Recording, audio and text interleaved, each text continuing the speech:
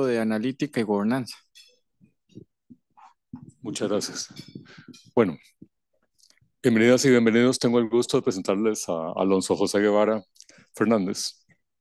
Eh, nos conocimos cuando él tuvo la iniciativa de autopresentarse y decirme que quería ser profe. eh, Alonso eh, es ingeniero en computación y ha dedicado su, su vida profesional a ingeniería de software desde el año 2010 aproximadamente, ¿verdad? Pasó por el Grupo Asesor en Informática, por Cross Acceleration Partners, por Avantica, hoy en Cora, ¿verdad? Este, eh, Amazon, y en los últimos cuatro años aproximadamente, ya vas para cuatro, tres años y pico, en Microsoft Research, haciendo ingeniería de software con la, la universidad de investigación que tiene Microsoft para, que es más grande que cualquier departamento universitario del mundo, ¿verdad? Y están haciendo, e, ellos trabajan en lo que le llaman special projects, algo así que es cosas locas, este, que a veces están muy orientadas a temas sociales, ambientales, ¿verdad? Que se salen de lo que es la investigación tecnológica para autoconsumo, podríamos e innovación dentro de Microsoft y es más bien llevar hacia afuera innovación, eh, a lo que yo entiendo, ¿verdad? Eh, Alonso también tiene 12 años aproximadamente, es profesor en la Universidad Senfotec, y lo cual agradezco eh, de corazón. Y está aquí para compartirnos la, la investigación que han estado haciendo. Ahí nos contará de qué se trata esto y algunos ejemplos y casos de uso de, la, de los avances científicos y tecnológicos que están haciendo Microsoft Research en, en esta área. Así que, adelante. Gracias, Nacho. Bueno, muy buenos días y un placer estar frente a, todos ustedes. La idea de hoy va a ser hablar un poquito, eh, Nacho lo dijo de manera magnífica, ¿verdad? Este, yo trabajo en la parte de Special Projects de Microsoft Research. Es un grupo que nace con la idea de poder atacar, ojalá, todos estos problemas locos y raros, no necesariamente alineados a, a, a una idea de producto o algo que se va a vender, sino más bien a alguna necesidad emergente. La motivación siempre es este, pensar 10 años a futuro en qué es lo que deberíamos estar haciendo. Específicamente el, el grupo en el que yo me desempeño se llama este, Societal Resilience. Entonces, bajo este marco de 10 años a futuro, lo que hacemos es pensar en los problemas que va a tener o los problemas que va a presentar la humanidad 10 años a futuro y en cómo ser más resilientes ante estos problemas. Em, por ejemplo, digamos, algo que nos agarró totalmente desprevenidos a todos como humanidad fue el problema del COVID, ¿verdad? Entonces surgieron un montón de, problemas satélite, digamos, a, a, lo principal, que era tal vez el problema de la pandemia, este, como por ejemplo, qué sé yo, que en India se estaba haciendo este, mucho fraude con los respiradores y los tanques de oxígeno, no sé si recuerdan. Entonces, eh, en algún momento, un proyecto que se hizo fue poder colocar, eh, bueno, poder recolectar de manera diseminada información y poder validarla eh, usando, esto se llama Chaos Information Retrieval, si no me equivoco. No, no era Retrieval. Bueno, la cosa es, en un entorno... No, no es Chaos Theory, se basa en eso, pero es, un, es, es una teoría que lo que dice es que entre más caos hay en la información, unas hipótesis se validan entre sí. Entonces, a pesar de que usted tiene un montón de datos caóticos, eh, la información que están brindando uno acerca del otro es suficiente para poder en masa refutar eh, gran parte de, estas, de, estos, de este caos informativo que hay. Entonces, solo para poner un ejemplo, eso fue algo que se hizo eh, para contrarrestar, por ejemplo, todo el tráfico, digamos, que está sucediendo a nivel de tanques de oxígeno en, en India donde usted le vendían tanques vacíos o se estaba especulando muchísimo con el precio o le vendían algo que no era oxígeno dentro del tanque. Entonces era muy interesante porque uno lo que hacía era recolectar información de Reddit, recolectar información de WhatsApp, recolectar información de todos, este, todos estos este, medios, digamos, donde la gente se expresaba. Por eso es información diseminada y después de eso analizarla, validando hipótesis contra sí y, lograr refutar o, o, aprobar unas contra otras. Eh, esa, se me fui por la tangente, pero la idea del grupo es esa. Entonces, eh, llevar a cabo cualquier proyecto o, investigación en la que podamos, de cierta forma, aportar a la sociedad herramientas para ser más resilientes. Últimamente. No, en Costa Rica somos dos. Es un grupo que está, eh, está distribuido entre América del Norte y Latam. Entonces hay gente brasileña, hay estadounidenses, este, estamos los dos ticos y... Ah, bueno, hay una persona en Cambridge, entonces sí es distribuido. Em, nuestro enfoque recientemente con todo este boom de los, de los LLMs, o algo en lo que hemos enfocado mucho en nuestra investigación, es en cómo aportar a partir de la analítica de grafos, que es lo que vamos a hablar hoy un poco, sin, sin entrar súper profundo porque es un tema muy denso, pero cómo aportar desde todo este tema de la analítica de grafos y cosas que han avanzado muchísimo hacia la parte de LLMs para fortalecer la recuperación de información. Entonces, lo que vamos a ver hoy es, este, es algo nuevo, de hecho, este, ahorita se está trabajando para hacerlo open source para, e, inclusive para incorporarlo a, a, las herramientas de Azure, siempre bajo el marco de open source. Y se están haciendo experimentos chivísimas comparando ya esto, lo que estamos, lo que vamos a ver hoy, contra Gemini, que es la solución que hace poco lanzó Google para hacer como, el, digamos, el chat GPT de Google. Al final, todo esto lo que es es nada más eh, recuperación de información sobre un corpus inmenso. Y es una capa sobre eso para este, entender, digamos, o, para apoyado sobre la interpretación del lenguaje natural, eh, poder hacer retrieval de esos datos. Entonces, hoy vamos a ver un poco de, de, qué es eso, vamos a ver un poco más de teoría de qué es este, ese tipo de, esto se llama RAG, entonces, ¿qué es RAG? Eh, ¿Cómo se hace RAG apoyado en grafos? Y ya aterrizándolo más, este, a qué casos o qué, o qué, qué tipo de investigaciones se ha, se ha hecho. Este, hacia el final preparé un demo con información de Costa Rica. Es un demo muy sencillo. Lo que hice fue entrar al Archivo Nacional y bajar un poco de datos. Este, no, no, hay gran cosa, pero, pero es vacilón. Entonces vamos a poder ver. Ahí encontré un caso en el que, por ejemplo, el LLM ya empezaba a alucinar un poco porque confundía personas. Este, porque siempre es bueno mostrar el, los casos de error, ¿verdad? No todo es perfecto. Y también ver un poco, digamos, la, la libertad que hay de preguntarle a o de obtener información preguntándole con lenguaje natural a esta cosa y, y qué cosas puede descubrir uno. Entonces, vamos a hablar por acá. Eh, un poquito la agenda que preparé. Entonces, primero vamos a ver qué son, qué son LLMs, muy por encima. Igual son temas ya que son muy conocidos a este punto. Es no porque son de de GPT 3.5 para atrás, eh, básicamente se, se, ignoraba, ¿cierto? O, o, se obviaba que eso existía. Fue con el boom de, de GPT 4 y con todo esto que empezó a decir la gente que, ay, no, es una inteligencia artificial general o se va a acabar el mundo. Y todo esto fue donde ya tomó un montón de relevancia, ¿verdad? Pero la mayoría de los casos uso, si uno se pone a ver, es gente redactando correos o gente usándolo en vez de usar Google. Entonces, tampoco es que estamos terminando el mundo con los LLMs, ¿verdad? Sin embargo, se ve el potencial que tiene como herramienta generadora de texto y para obtener, para hacer retrieval de información. Después de eso vamos a ver qué son RAGs, que era lo que les decía, eso es Retriever Augmented Generator. Entonces vamos a ver qué es eso, nada más muy por encimita, un poquito de grafos, de qué es la analítica de grafos. Para eso entonces les voy a explicar qué es este, comunidades y clusters y qué es este, eh, node centrality o qué es la centralidad de un nodo, qué significa eso dentro de un grafo. Porque más adelante también este, tengo preparado el, un grafo, con, igual con información del Archivo Nacional, para que lo podamos ver y, hacer una cosilla vacilona ahí en vivo. Es correr el, detección de comunidades y después correr eh, degree centrality para ver, digamos, cómo cambia eso un grafo, verlo aquí en vivo y a todo color.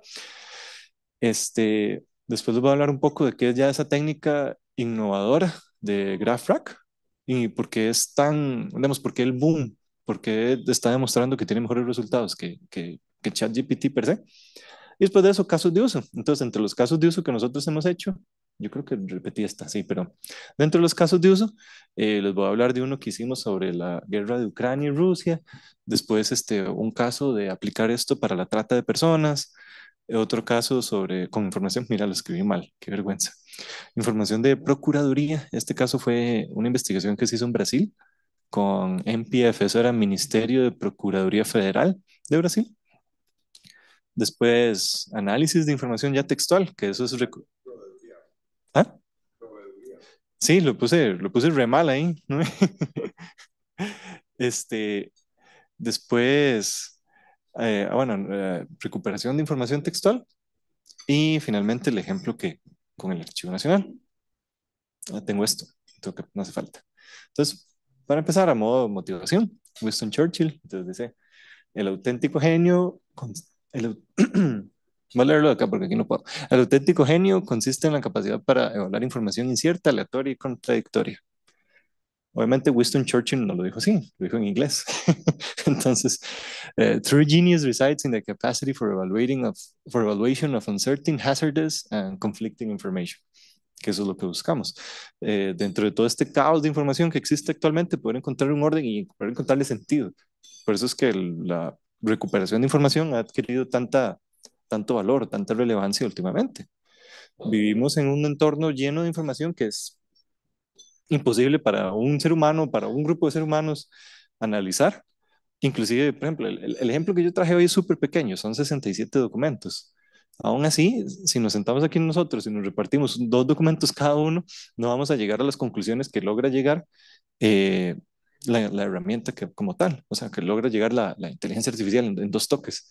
Entonces, ese es el poder, al final, aumentar eh, las capacidades que puede realizar un investigador o que puede realizar un ser humano apoyado en herramientas como tal que le permiten acceso a, a, una base de conocimiento pues inmensa. Entonces, ahora sí, hablando un poquitito de, de, qué es un LLM, a este punto ya sabemos un montón, ¿verdad? LLM es Large Language Model, es large porque es inmenso, o sea, la cantidad de parámetros que procesan estos modelos son billones, entonces es algo que tal vez no ni siquiera se alcanza a, imaginar uno. Eh, ¿Mm? billions, sí, sí, billones de parámetros. Este es algo impresionantemente grande. O sea, eh, uno lo puede comparar tal vez contra los, los algoritmos que tal vez uno utiliza normalmente de, de machine learning o para hacer forecasting qué, sé yo, dice, recibe seis parámetros, eh, no sé si está haciendo ahí un, un Sarima o cosas así. Es más, Sarima recibe seis parámetros, ¿verdad? Ahora imagínense algo que recibe billones de parámetros y que opera sobre cantidad de información eh, impresionantes, ¿verdad? Este, puedo estar mintiendo, pero si mal no recuerdo, la fecha de corte de los datos de, de GPT-4 es 2021. Entonces, del 2021 para atrás tiene visibilidad de, de todo lo que existe en Internet prácticamente. Entonces, lo cual es otro gap, ¿verdad? Si uno pregunta cosas muy recientes, no saben. Entonces, esas son otras, esas son otras cosas que, que se trata de, de, cerrar el gap con este, estrategias como RAC, que ya es meter un set de datos privado a, a un LLM para poder uno hacer consultas sobre ello. Entonces, la, la gracia o el gran boom que tienen los LLMs es principalmente la parte de procesamiento de lenguaje natural, que es ya lo siguiente. Entonces, está la parte de large y está lo de language model. Entonces, la parte de language model es y nosotros nos comunicamos como lo hablábamos con el LLM, ¿verdad? Y no depende de un lenguaje. Nosotros en inglés, en español, en mandarín, en cual sea el idioma, logramos tener la misma calidad de respuestas porque el LLM logra interpretar todas esas partes. Entonces, él tiene una gran batería, digamos, de transformadores que son los que se encargan de agarrar toda esta parte del lenguaje natural, entenderlo, y ya una vez que eso está, por así decirlo, pasó esa capa de abstracción, ahora sí entra toda esta parte poderosísima que es la recuperación de información sobre ese corpus inmenso que, como les decía, son, cosas que ni siquiera se alcanzan a imaginar dada la magnitud de eso. También por la existencia de los Large Language Models es que salen los este, Short Language Models, que la idea de eso es short, sí, es short, como FI. No sé si han escuchado uno que se llama FI. Eh, la idea de eso es como casi que tener un language model que pueda correr en su celular sobre un corpus obviamente de datos más pequeñito, pero con la misma precisión o, eficacia, digamos, que, que, GPT. Entonces, aquí lo importante es, como les decía, eso, la parte large, eh, habilita cualquier cantidad de datos y más allá de la cantidad de datos que habilita es la cantidad de parámetros. Entonces, al existir ese montón de parámetros, permite que el modelo sea mucho más preciso, porque puede tomar en cuenta un montón de cosas más, que eso es lo que va determinando, digamos, los saltos entre GPT-3, GPT-3.5, GPT-4, y ahorita está este, el 4.5 Turbo. Entonces, eso lo que hace es, ok, este, habilita más parámetros. Al habilitar más parámetros, expande un montón la ventana contextual. ¿Qué, ¿Qué es la ventana contextual? Es básicamente cuánta información yo le puedo tirar de un solo al LLM. Entonces, al incrementar esa ventana, él ya tiene la capacidad de analizar más datos o de tener un mayor contexto a la hora de generar su respuesta y da, por ende, da respuestas con mayor precisión. Oh, sí, señor. Uh, sí. este, así como, como nota curiosa, digamos, eh, cuando se estaba desarrollando GPT-4, eh, Microsoft lo que hace es que provee de hardware a, OpenAI. Entonces, cuando estaba hace año y resto, cuando era un proyecto secreto, todo el GPU que tenía Microsoft Research se lo llevó OpenAI. Entonces no podíamos hacer cosas a, satélites que requirieran, sí, que ocuparan GPUs, porque todo estaba reservado, digamos, para, para el desarrollo de esto. Y, o sea, cuando digo GPUs no son 100, ¿verdad? es una cantidad gigantesca de GPUs que estaban totalmente reservados a, al desarrollo de, de GPT-4.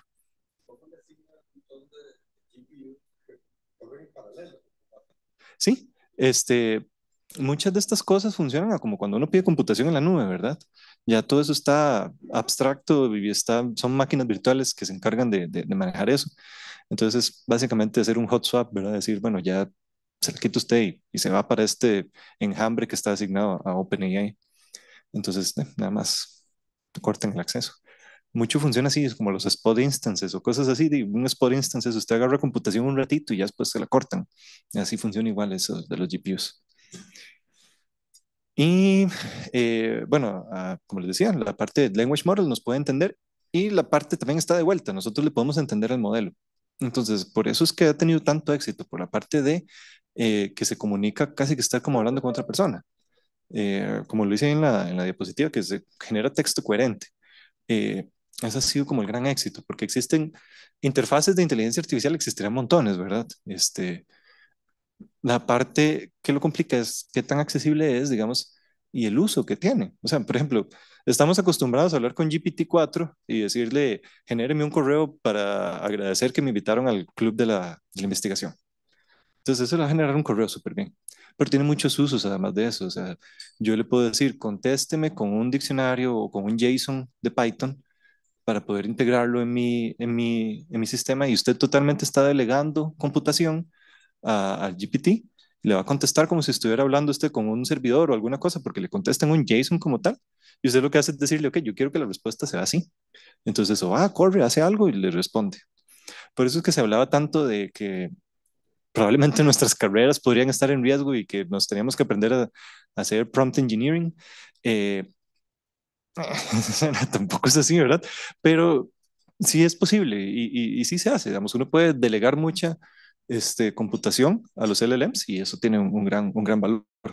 Entonces, no solo es la parte de decir, ok, este, generar texto que puedo leer en ChatGPT, sino las aplicaciones fuera de eso. Lo siguiente, ah, bueno, esto, lo que les decía, entonces existe un gap de información que les decía, puedo estar mintiendo, pero recuerdo 2021 como un número, entonces no, puede ser, puede ser que sí sea eso, puede ser que sea antes. Este, pero yo también puedo llegar y agarrar los LLMs, ellos no tienen acceso a datos privados, ¿verdad? Obviamente. Entonces yo puedo llegar y agarrar una instancia de un LLM, puedo agarrar mi modelo y yo puedo entrenarlo sobre datos este, privados y después de eso hacer fine tuning, que curiosamente fine tuning es la, es el, la, la operación más cara, digamos, en, cara en términos de dinero sobre los LLMs, porque es donde está el, el negocio, ¿verdad? Eh, pero tienen esta capacidad, entonces yo, y, es lo que vamos a ver ahora, digamos, ahora se va a entrenar uno sobre, específicamente sobre modelos, perdón, sobre datos del Archivo Nacional, y, y si tal vez necesariamente, no, no, es más, no creo que el LLM, eh, ChatGPT tenga acceso para eso, ¿verdad? Entonces, datos, primero que son del 2024, en teoría, si el Archivo Nacional no me mintió, son archivos del 2024 Y son cosillas de, muy de Costa Rica, ¿verdad? Entonces tal vez no tendrían gran relevancia dentro de ese corpus inmenso, pero nosotros logramos que esté muy focused en lo que estamos logrando. Este, y como siempre, las, las partes contradictorias, ¿verdad? Eh, tanto, bueno, en realidad casi que todos estos copilots que han surgido, como en su momento el de, el de GitHub, que la gente decía, ok, esto tiene acceso a datos privados y de alguna manera está lucrando con datos privados. Entonces siempre existe todo ese debate y por eso esta última, eh, este último bullet, donde dice que genera preguntas importantes sobre lo que es la privacidad de datos y también algo muy interesante es la generación de contenido potencialmente dañino o engañoso. Un ejemplo muy reciente es, este, acaban de suceder las, eh, las elecciones en Taiwán. Y es impresionante la cantidad de contenido falso que se genera a través de herramientas de, de este, eso es Generative AI. Entonces, eh, generan pósters falsos, digamos, del candidato. Eso es tal vez el ejemplo menos dañino, un póster falso del candidato poniendo frases que nunca dijo, hasta este, videos donde eh, se puedan generar deepfakes en cinco minutos y se puede tomar su voz, digamos, y generar un video con su voz. Eh, esto abre toda una nueva área de investigación que es entonces este, el análisis del provenance, digamos, de, de, de, dónde proviene todo el contenido que se está generando, cómo puedo colocar yo una marca de agua sobre contenido genuino, este, cómo puedo detectar contenido falso y tal vez más importante que detectar contenido falso es cómo puedo yo bloquearlo, ¿verdad? Porque yo no, nada hago con detectar que es contenido falso siempre va a seguir surgiendo. Y al detectar que es contenido falso, lo único que estoy, este, por así decirlo, incentivando es que mejore para que no sea detectable, ¿verdad? Entonces, todo ese tipo de cosas este, son problemas que vienen anexos a, a, los LLMs.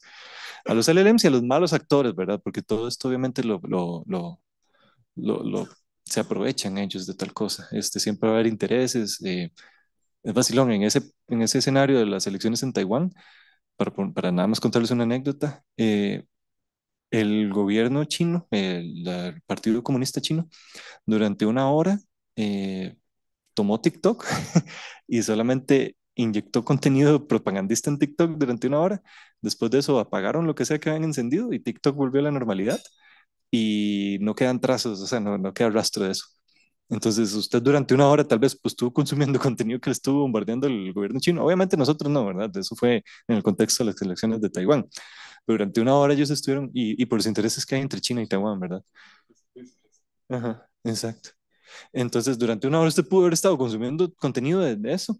Tal vez guardó el video o algo así y ya después no, no fue trazable, digamos, porque eso fue un, un switch on and off de, de, de contenido para bombardear a la gente. Cosas muy interesantes. Aquí está, estoy toda la mañana ir a tocar ah, Entonces, ahora pasando al, lado de, de, RAG, de Retrieval, Retriever Augmented Generation. Entonces, es este, esto ya es básicamente cuando yo le doy mi set de datos y, y quiero obtener información de vuelta. Entonces, ¿qué es RAG? RAG tiene dos partes, tiene la parte de Retriever y la parte de Generation. La parte de Retriever es el que se encarga de este, recuperar información que va a ser relevante para el LLM, o bueno, para el LLM no, ya estoy sesgando la parte de Generation. Es nada más la parte de, conseguir información que va a ser relevante para búsqueda o información en la que yo quiero eh, realizar consultas. Y la parte de Generation ahora sí, ya voy a sesgarlo totalmente, es el, GPT o el LLM corriendo sobre esta información para generar este, respuestas o para generar contenido que yo voy a consumir. Entonces, como le dice ahí, una vez que Retriever ha identificado los documentos, el componente de generación toma esa información y la utiliza para generar, generar una respuesta coherente.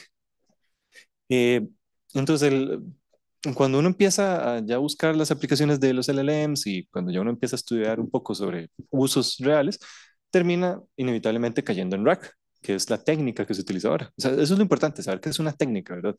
Eh, pasa mucho que uno escucha, ah, sí, este, tener, eso háganlo con un modelo RAG, pero no es un modelo, es, es una técnica. Entonces, el RAG tiene muchas implementaciones, pero es el modelo o es la estrategia en la que yo primero recupero información y después genero eh, sobre esa información este contenido coherente o contenido, contenido o sea, puede ser un JSON, tal vez un JSON no es tan coherente. Y esa, esa información que recuperas es como para dar contexto, para mejorar la calidad de Esa información es, depende para lo que usted lo quiere usar, eh, pero es ya su respuesta final. Es como lo mismo que yo llegue a ChatGPT y yo le diga, eh, ¿cuándo nació don Ignacio Trejo Zelaya? Eh, entonces, él me da una respuesta. Esa, esa parte es, la, es el gen, el, el generator, digamos. Entonces el retriever va a ser ir a buscar en algún lugar dónde está su fecha de nacimiento. El generator es ya tomar eso y generar contenido coherente respecto o, sobre eso.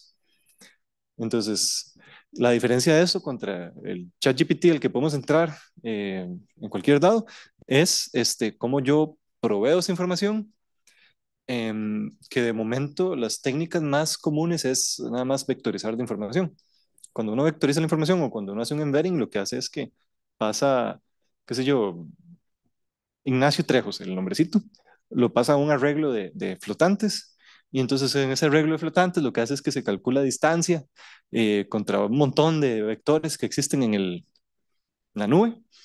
Y entonces entre distancia en vectores ellos van contando similitud, dice, ok, aquí está la información, este, esto que él me está apuntando es muy similar a esto, eso está muy cerca de, este otra, de esta otra información que probablemente es su fecha de nacimiento y lo devuelve. Entonces, la parte o el rack convencional funciona así, es este, vectorización de información y cálculo de distancias entre vectores. Por eso es que lo que vamos a ver más adelante, que ya es incorporar grafos y, ya cálculo de distancias dentro de un grafo y todo eso es innovador y se sale, digamos, de lo que provee normalmente el GPT. Ok, entonces ahora hablar un poquito de grafos y probablemente también los voy a cansar con el tema y ya también esto lo van a saber. al final, no sé qué puse. Sí, un grafo es una estructura de datos, una estructura matemática y básicamente es conectar bolitas a través de líneas, ¿verdad? Este, ya ese concepto se eleva mucho más y salen muchas cosas sobre eso. O sea, uno puede complicar un grafo tanto como uno quiera. Sin embargo, es una herramienta muy útil para modelar casi que cualquier cosa. Este, por eso es que tienen tanto éxito. Eh, yo siempre me acuerdo cuando uno estaba estudiando con él, tenía miedo a los grafos, porque eran tal vez de las estructuras de datos más complejas para recorrer, para, para entender, pero la verdad es que, o sea, permiten modelar tantas cosas que, que la parte específica de retrieval information sobre un grafo es muy grande. Este, últimamente cosas como GraphML y analítica de grafos han tomado un gran auge por lo mismo, digamos, porque todo esto que yo les decía de, comparar vectores sobre, sobre un string, sobre, sobre una frase, eh, queda, es, es, visible cuando se compara contra el cálculo de distancias y el cálculo de comunidades y demás que provee un grafo. Entonces, ese tipo de agrupamiento, generar clusters y demás en un grafo es algo muy natural. Entonces, colocar cosas que están cercanas, este, alejar cosas que no tengan nada de relación con el grafo o con esta comunidad que se está generando acá en grafos es muy sencillo. Y ya todo eso per se me da mucha más información, o sea, la, longitud del, del, del, vértice, eh, el color del vértice, el color del nodo, el tamaño del nodo, todo ese tipo de cosas sobre un grafo este, es muy útil. Y la otra cosa es, nosotros estamos acostumbrados a ver grafos en 2D, pero realmente un grafo es una estructura n-dimensional. Entonces, eh, lo que nosotros vemos en, dos dimensiones, eh, por debajo es una estructura, bueno, o sea, subyacente es pues, otra cosa totalmente. Eh, es algo, como les decía, n-dimensional. Yo lo puedo dimensionar por, qué sé yo, atributos, lo puedo dimensionar por, sí, principalmente por atributos, y atributos yo puedo tener un montón. Y también existen el concepto de este, grafos multiplexados que es un grafo sobre otro. Entonces eso es muy chido, eh, porque básicamente yo llego y coloco un montón de grafos y para imaginarlo 2D, digamos, para que sea más sencillo, yo puedo llegar, dar vuelta a eso y ver, digamos, cómo se alinean en ese plano de uno sobre otro los nodos del grafo. Entonces, yo puedo tomar cosas como, qué sé yo, cómo se mueve el nodo en el tiempo. Eso también es información valiosísima que se puede modelar con grafos.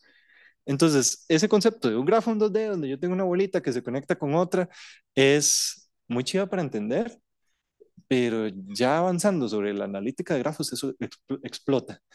Eh, entonces este tipo de cosas de grafos en 3D, grafos multiplexados, este, ver grafos a lo largo del tiempo, movimientos de nodo a través del tiempo y todo eso es lo que me permite llegar a, a cosas como lo que vamos a ver ahorita. Sin embargo, lo básico de un grafo es eso, una bolita, dos bolitas unidas a través de, una, de, un, de, un palito y, y, eso significa algo. O sea, que este no esté unido a este es algo. y por lo general los nodos son del mismo tipo, el tipo una entidad, pero yo puedo tener grafos bipartitos, puedo tener grafos multipartitos donde los nodos significan diferentes cosas, como lo vamos a ver ahorita. Entonces, eh, como les decía, para análisis y visualización de datos son muy poderosos. Ahorita vamos a ver eh, también una visualización de datos con los del Archivo Nacional. Se ve súper bonito. Eh, y lo vamos a ver animado, entonces parece que está explotando un fuego artificial, pero eso nada más es este, reducción de dimensiones y este, detección de comunidades, pero se ve súper bonito, parece un, fuego artificial. Y esos usos más comunes este, para modelar redes, para estructuras organizacionales, de hecho, modelar estructuras organizacionales a través de grafos es súper interesante, porque usted puede ver la dinámica organizacional de una empresa. Entonces puede ver, qué sé yo, realmente dónde se dan las conexiones en una empresa, este, a través de, qué sé yo, la comunicación que yo tenga por correos, la comunicación que yo tenga por, por, chat o cosas así. Entonces uno puede ver realmente, digamos, cómo, cómo se da la dinámica organizacional. Búsquedas y recorridos y bases de datos, que las bases de datos de grafos este, también habían tenido hace tiempo ya este, mucho, mucho boom. Recuerdo Titan, creo que se llamaba una y había una, Neptune, ¿no era? bueno, en algún momento hubo un gran boom en, modelar bases de datos con grafos, entonces son muy útiles para todo esto. Y la parte analítica de grafos, entonces es obviamente un campo interdisciplinario, eh, no solamente es computación, es un montón de cosas más, hay mucha matemática, hay mucho... Cuando uno trabaja con, con investigadores se da cuenta realmente que, de verdad, que compu es algo interdisciplinario. Este, tal vez usted sepa codiar, pero hay un montón de cosas fuera que, que se oían. igual pasa en el análisis de estas cosas. Ya para sentarse y analizar datos hay que saber eh, de política, hay, que saber de, este, en el caso de trata de personas, muy feo, pero hay que saber de todos estos temas, digamos, para poder llegar y visualizar la información y, entender qué está pasando. Y se basa en técnicas y en algoritmos específicamente diseñados para extraer información. Entonces, eh, como tal vez ustedes estén familiarizados con el, ¿cómo es que se llama la de texto? Word2Vec, ajá, Word2Vec. Eh, eso es para vectorizar palabras. En grafos existe algo que se llama Node2Vec, que lo que hace es vectorizar nodos, vectorizar un grafo. Este, hay algoritmos como Leiden, que es para detección de comunidades de manera jerárquica.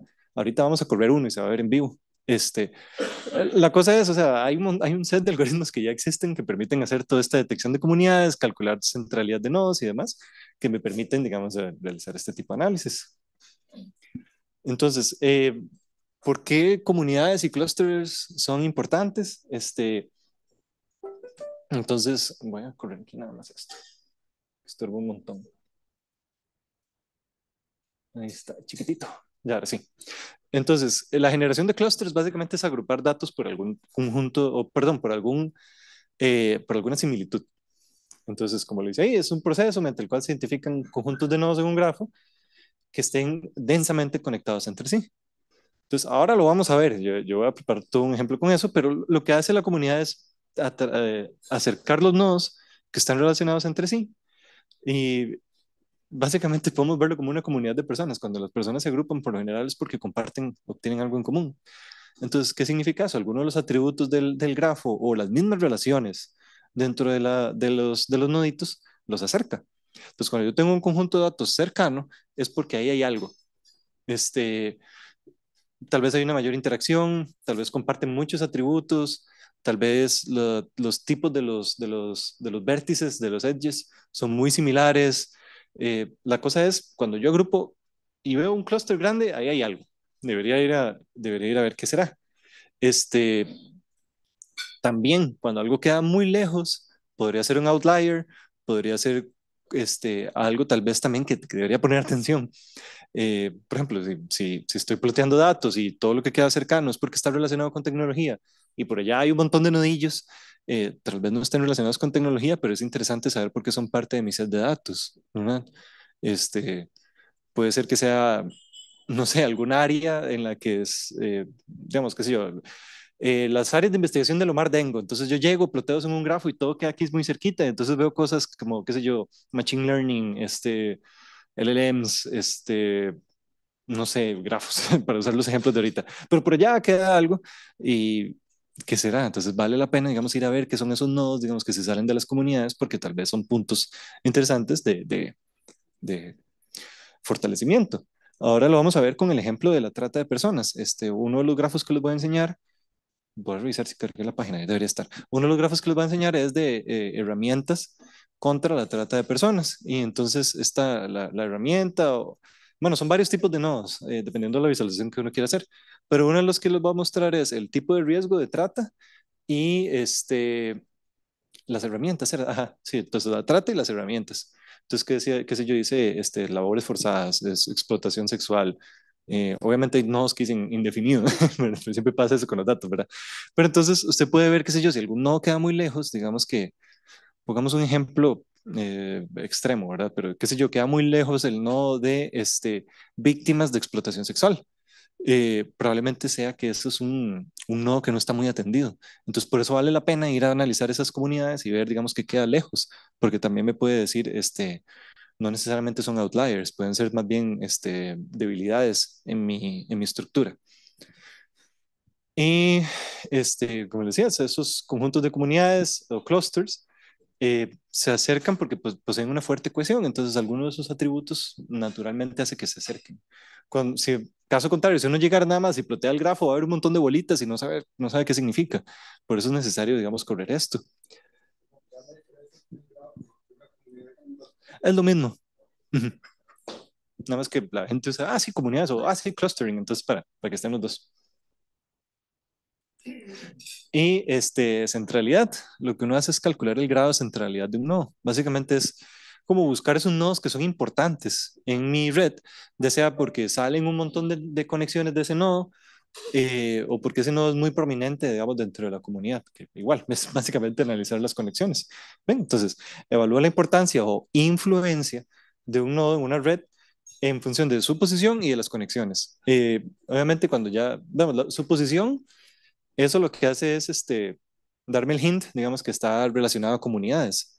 Y este, su, su grado de conexiones también es qué tan relacionado está, digamos, con nodos dentro de su comunidad y fuera de su comunidad.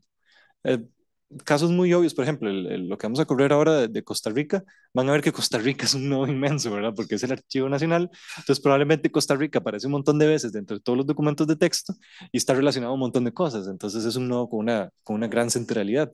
Eh, en casos como este probablemente no tenga mayor eh, importancia el nodo, eh, pero si ya son cosas, qué sé yo, porque lo estoy cubriendo solo en Costa Rica, ¿verdad? Si ya fuera datos de un montón de países, probablemente ahí sí me llame la atención que Costa Rica sea un nodo grande e iría a investigar por qué. Este, y básicamente es, un, es una medida de importancia de un nodo. O sea, ¿qué tan, qué tan presente está ese nodo en mi red? Ok, ahora sí, ya hablando, vamos a ver nada más cuántas puse. Ok. Entonces, ahora sí, ya hablando, aterrizándolo un poquito más a qué es GraphRag o, o cómo apoya el RAG, perdón, cómo apoya un grafo al RAG. Funciona de la siguiente manera. Usted lo que hace es tomar eh, su corpus de información y apoyado en un LLM, analiza cada uno de esos textos en búsqueda, en búsqueda de relaciones, entidades y hechos, por así decirlo, esos, eh, o, en inglés claims. Entonces, ¿qué son esos tres primitivos? Eh, las entidades es todo aquello que es un objeto, digamos, todo aquello que es relevante dentro de mi, de mi corpus. Puede ser una fecha, puede ser un evento, puede ser una persona, puede ser un lugar. Eh, depende mucho de la naturaleza de los datos que esté analizando. El LLM se encarga de ir a través de todos los, los, los documentos que usted tiene y va extrayendo esas entidades. Ahora, tener entidades solo no tiene ningún valor. Entonces, la otra cosa que se hace es ver las relaciones entre esas entidades. Entonces, ya ahí tenemos un grafo, ¿verdad? Tenemos entidades y tenemos relaciones. Ya tenemos los nodos y tenemos los edges. Es un grafo multipartito porque todos los nodos son de diferente tipo. Tenemos eventos, tenemos lugares, tenemos personas, tenemos fechas, tenemos en realidad lo que se nos ocurra. Depende mucho de la naturaleza del set de datos. Por eso es importante cuando uno va a investigar saber qué es lo que está investigando o conocer un poco lo que está investigando.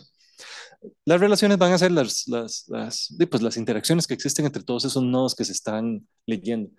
Por ejemplo, este, en el set de datos que tenía ahí venía algo de la Gaceta y, eh, qué sé yo, una publicación de la Gaceta respecto a alguna ley. Entonces, esa ley y la Gaceta ya tenían una, un, un nodo, perdón, ya tenían una relación. Eh, la ley que se publicó es una entidad, la Gaceta es otra entidad, y la publicación de esa ley en la Gaceta, en la fecha, tal, tal, tal, tal, es la relación.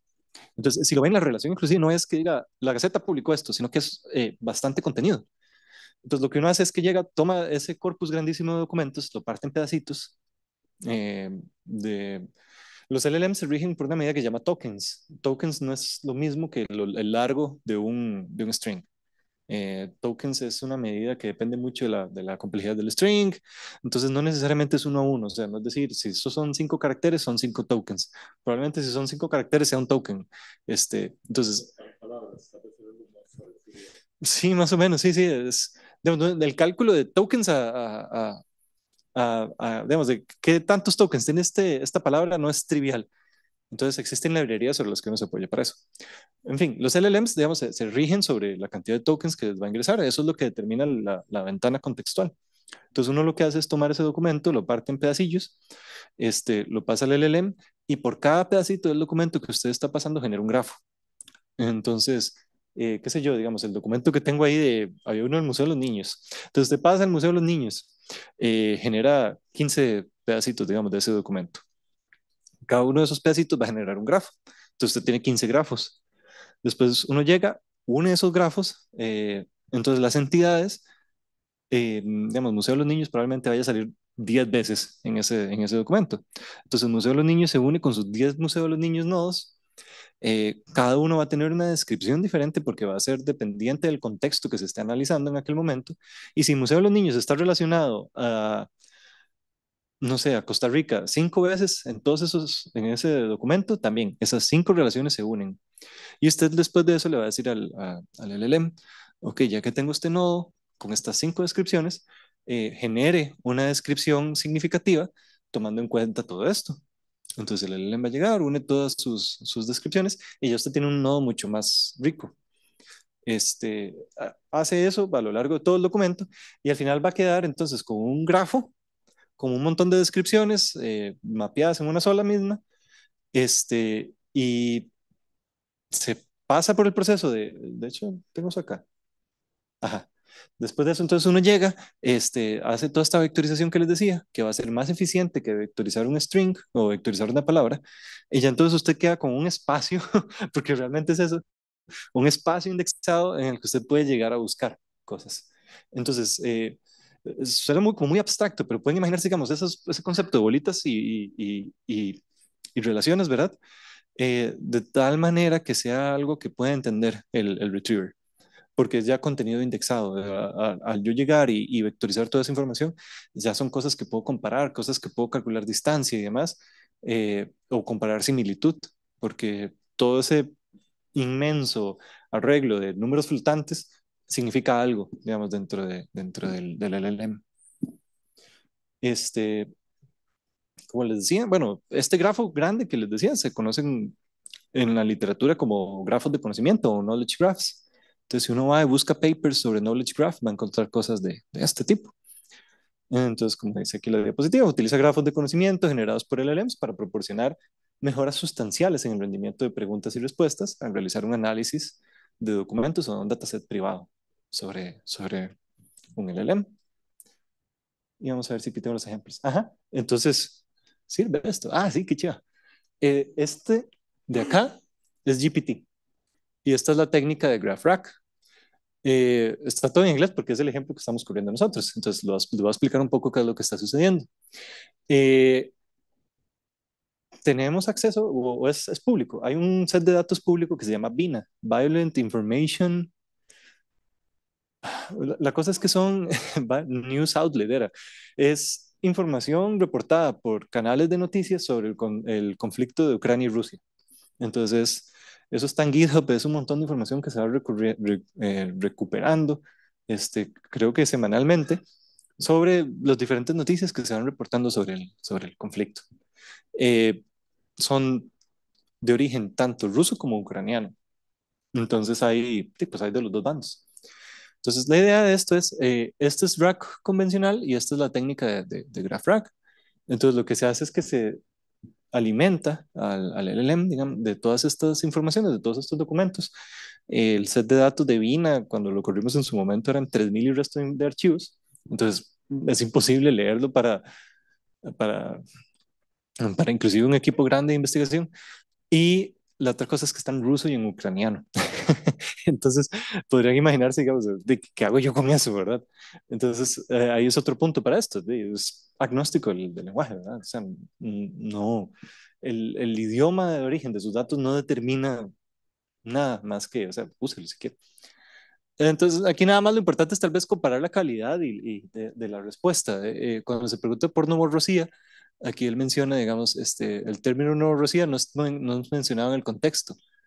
Este, sin embargo, y aquí ya empieza a buscar información de conocimiento general, Rocía o Nueva Rusia es un eh, término para referirse a la región del sur de Ucrania que fue conquistada por Rusia, bla, bla, bla, ¿verdad? Entonces, ya después de esto, aquí esto es el graph rack, entonces ya esto tiene una búsqueda, eh, no se llama búsqueda global, eh, toma en cuenta todo el set de datos a la hora de generar una respuesta, versus esto que lo que hace es generar una respuesta local, eh, más sesgada a, a solamente un conjunto de datos y a un pequeño contexto. Entonces ya pueden ver, digamos, ya con solo esto, la, la, la calidad o la diferencia de información. No Rosilla, también conocida como Rusia, es un término con eh, significancia histórica y contemporánea, históricamente, entonces ya toda la, toda la este, historia, sí, toda la historia, digamos, de, de toda la historia clásica sobre qué es Rosía y algo muy importante es se apoya eh, o, valida contra eh, información existente en el set de datos. Entonces, todos estos son punteros o todos estos son índices de, de documentos donde él está sacando la información. Entonces eso lo que hace es dar transparencia y, y provenance, digamos, a, los datos. Entonces uno sabe que, que, está fundamentado en algo. Y después hace lo que no hizo esto, decir cuál es el término actual de, de Nuevo Rusia. Entonces que es un movimiento político eh, utilizado por rusos nacionalistas y se ha asociado con los esfuerzos de desestabilizar a, Ucrania. Entonces, se ve la diferencia versus este, que lo que dice es, ok, no sé qué es Rosía porque no está en el set de datos, cuando claramente sí está, y lo que hace es hacer default a una respuesta de conocimiento común, que es ya el contexto histórico de qué es Rosía versus dar el contexto histórico, apoyarse sobre los datos donde también se menciona el contexto histórico y hablar de que es un movimiento nacionalista ruso que lo que busca es debilitar Ucrania. Otro ejemplo, este no lo vamos a leer porque es inmenso, pero eh, lo que pregunta es, o sea, ¿qué ha hecho Rosía? Entonces ellos han tenido un montón de programas y demás en, en, en de desestabilizar a, Ucrania. Entonces el, el, rack normal lo que dice es, eh, no, sé, ¿verdad? Cuando el graph rack, digamos, da todo este, este, este párrafo explicando qué cosas ha hecho Rosía, como los ataques a, a las transmisiones de radio y televisión, este ¿Qué más decía por ahí? Bueno, menciona lo, del, lo de Odessa, este, el Centro de Telecomunicaciones de Ucrania, eh, menciona lo de este, volar los cajeros automáticos. Entonces, eh, sí habla, digamos, de, de, de, todo lo que ha hecho Nuevo Rosía. Inclusive usted le puede preguntar cuál es la agenda de Nuevo Rosía en base a, sus, en base a lo que ellos han hecho y el, y el Graph Rack sí le genera una respuesta bastante comprensiva de, del actuar de Nuevo Rosía. Entonces, por eso es que es tan chido y por eso es que, digamos, este tipo de técnicas eh, me permiten un análisis tan profundo de información versus a llegar a utilizar algo sobre eh, de un GPT normal, digamos, sin, sin mucho investment.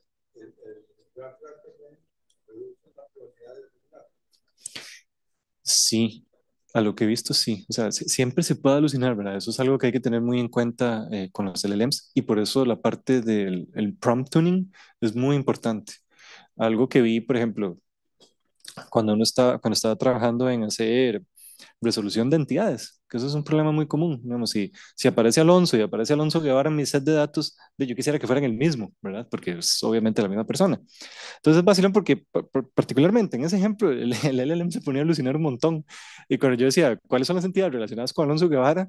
Empezaba a inventar Alonsos. Entonces, este, no sé, Alonso Morales, Alonso Gutiérrez que no existen en el set de datos. Entonces, ahí es donde hacer el prompt tuning es tan importante, porque usted lo que hace es enfocar el LLM hay escenarios en los que uno idealmente quiere que un LLM alucine eh, para generar historias, para generar contenido, y hay muchos casos en los que usted quiere más bien que el LLM se mantenga enfocado. Entonces, todo eso se busca a través del, del, del prompt. Sí, señor.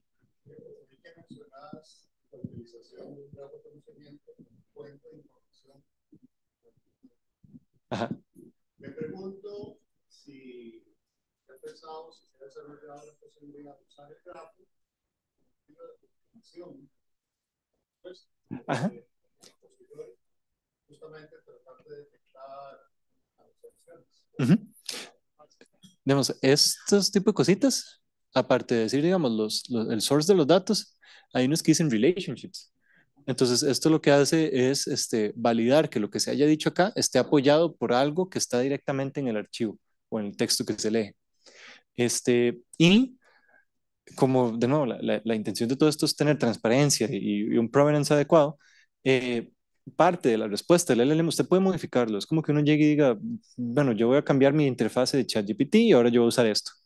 Parte o, o la parte de la modificación es que usted, a ChatGPT usted le puede, al- bueno, al, al que nosotros tenemos, usted le puede decir, eh, ¿de dónde sacó esto? ¿Cuáles son sus sources? Y específicamente le dice, ok, de este documento se leyó esto, de este documento se leyó esta otra cosa. Entonces, de nuevo, no es promocionar la- lo que nosotros estamos haciendo, es hablar, digamos, de, de, de, de la importancia de que exista transparencia en, en, en el, en, la, en la generación de datos y en la inteligencia artificial. También otra estrategia, eh, y esto también, eso es general, de nuevo, no es, no es querer vender un producto jamás en la vida. Este, y todo esto es open source, entonces. Pero también parte de, de lo que, de las estrategias que, que, que he visto que funcionan mucho y, y algo que yo hice es cuando se están haciendo todo este summarization de, de, de, de descripciones, cuando se resume todo esto, también eso da espacio al LLM a que alucine. Entonces uno lo que puede hacer es taguear el contenido que está generando el LLM. Así como se taguea, digamos, todo esto que, está, que proviene de información real, usted puede taguear lo que el LLM está generando. Entonces yo uso un tag que dice LLM Verify. Entonces aparece justo como esto. Aparece así, exactamente igual. Y es, qué sé yo, una oración. Y esa es la oración que el LLM está generando. Entonces eso también permite eh, que a pesar de que es contenido que uno podría pensar, esto es eh, una caja misteriosa a la que le tiro algo y me devuelve algo, aún así yo puedo tener esa, esa trazabilidad de decir, ok, esta oración específicamente sé que el LLM la aportó sobre las descripciones que yo le estaba dando. Entonces ya es trazable y, si quisiera decirlo así, está refutable o, o, desestimable si uno no quisiera incluir la parte que el LLM aumenta. Exactamente. Y también muchas de las cosas que se hacen es este, tener antagonistas. Entonces, cuando un LLM genera algo, decir, ok, este, tener otro LLM que no conoce los datos o que no ha sido entrenado sobre los datos, pero que nada más consume la respuesta para que valide contra el set de datos. Entonces, esas, todas esas son estrategias válidas. Esa parte de tener antagonistas o demás, eso se llama eh, multiagentes. Entonces, cuando uno tiene múltiples agentes, ellos saben diferentes cosas. Entonces, este agente, sin estar entrenado sobre los datos, es capaz de llegar y tomar una respuesta y lo que él va a saber es nada más verificar si eso existe o no en el, en el input original. Y, ah, bueno, este es otro ejemplo nada más. Este es el de la agenda, pero ya para no cansar, digamos, con tanto texto. Perdón, es el que sigue. Este es el, que habla un poco de la agenda. Si bien digamos, las respuestas son muy escuetas comparado a la, a la, calidad de información que uno puede lograr a través de nuevo de, de hacer ese merge de datos tan grande y beneficiarse de lo que les decía que es el Global Search, que es ya analizar sobre todo el set de datos, no sobre solamente un pedacito, que es una de las limitantes más grandes que tiene RAG actualmente. Entonces ahora vamos a hablar, les voy a hablar un poco de los casos de uso o donde se ha aplicado la analítica de relaciones, que ese es el, el, que era el tema principal de la charla, y qué cosas se han hecho. Y termino con el, ¿qué hora tengo? Ok, sí. Y termino con el ejemplito de, de, de Costa Rica. Entonces, voy a ponerle, porque me he extendido un montón, perdón. Entonces, en el caso de Ucrania y Rusia, lo que se hizo fue tomar un dataset de navegación o de tráfico de red eh, durante las fechas iniciales del conflicto para ver qué estaba pasando, básicamente. O es decir, algo tiene que estar pasando. Entonces, eh, lo que se logró realizar fue un análisis de ciberataques y hacer un estudio de orígenes y destinos de misinformation de este, que surgía durante el, el, ataque ruso. Entonces, no sé si recuerdan cuando eso estaba empezando, que había un montón de cosas que decían que Putin decía o que Putin no decía, este, o bien Putin este, negando que habían hecho ataques en, en Ucrania. Eh, a nosotros, que estamos en, Aunque no lo parezca, nosotros estamos en una posición menos polarizada. Dentro de Rusia, este, era otra cosa totalmente. O sea, dentro de Rusia no había noticias de la invasión rusa a Ucrania. Dentro de, de, de Rusia las noticias eran más bien que Ucrania estaba atacando a Rusia. Entonces era como un silo de, de, de desinformación. Entonces parte de lo que se hizo fue analizar y de dónde surgían esos, de dónde surgía esa información. Este, cosas muy interesantes como tal vez nunca se dijo en las noticias, pero Ucrania también estuvo atacando Polonia este, a, través de ciberataques. Entonces, analizar todo eso, o sea, ver realmente cuál era la dinámica que existía, generar un grafo en torno a eso. Y cuando usted genera un grafo es muy fácil este, propagar riesgo. Entonces, decir, ok, dado este source, que era, qué sé yo, una página rusa, eh, ¿cómo se propaga o, o, o cómo se ven esos ataques hacia otros sitios web? O bien, como otros sitios web, que es tal vez el caso más común, están llevando hacia un mismo sitio, digamos, tal vez de, potencialmente desinformación. Eh, todo eso son, de una u otra forma, ciberataques, ¿verdad? Buscar desinformar a la población es, es una forma de atacar o desestabilizar un gobierno. Entonces se, hizo un análisis de todo eso, fue muy interesante y, y, se apoya sobre, de nuevo, esta, este concepto de grafos y esta dinámica de redes. Cosas muy interesantes de ese ataque, eh, perdón, cosas muy interesantes de ese análisis es este, hacer análisis de proveniencia de desinformación es muy difícil por el hecho de que estos sitios por lo general son eh, muy efímeros. Entonces, nace un sitio con información falsa, se publica durante cinco horas, hace un bullón, se apaga. Eh, también se dan muchas cosas que se llaman data voids. Un data void es, este, uh, imagínense que uno va por la calle, qué sé yo, y hay una persona y dice, busque tal cosa, busque Novorosía, digamos. Son palabras o, un data void son palabras, términos o cosas que un search engine no conoce o no tiene identificado y que usted al llegar y buscar por eso lo va a llevar a consumir contenidos este, de desinformación o contenido nocivo. Eso es un data void. Entonces es muy difícil determinar qué es un data void o atacar un data void porque por así decirlo no es nadie en el, el gran contexto de Internet hasta que la gente lo empieza a consumir y cuando ya llega un punto lo apagan y lo quitan.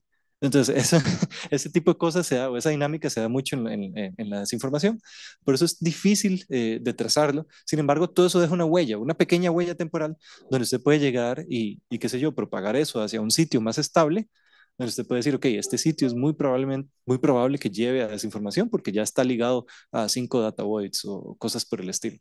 Entonces, eso era, era muy, muy interesante que se veía en, en la parte del conflicto ucraniano-ruso. Tal vez la, la la información se centró a, a, a, nivel de los ataques físicos que estaban sucediendo, pero toda esta, esta red de ciberataques y de desinformación eh, se obviaba por las noticias. Y como les decía, o sea, se extendió más allá de Ucrania. Digamos, había, había cosas donde eh, Rusia estaba atacando Polonia. ¿Por qué? No, no, se sabe, pero estaban tratando activamente de hackear o desinformar. Esto fue, yo, yo duré recolectando datos eh, me acuerdo que fue para un diciembre. Entonces fue como dos meses de recolección y de formateo de datos y después ya empezar a correr todas las cosas para, para darles forma. ¿Mm?